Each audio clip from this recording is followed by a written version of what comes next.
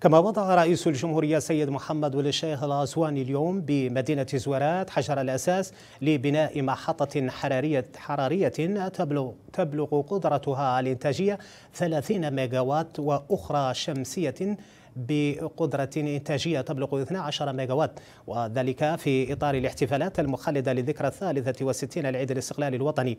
وسيمكن هذا هذان المشروعان من زيادة كمية إنتاج الطاقة الكهربائية على مستوى هذه المقاطعة لمواكبة تطور أنشطة الشركة الوطنية للصناعة والمناجم سنين وتغطية الحاجيات المتزايدة من الطاقة على المستويين الاقتصادي والاجتماعي.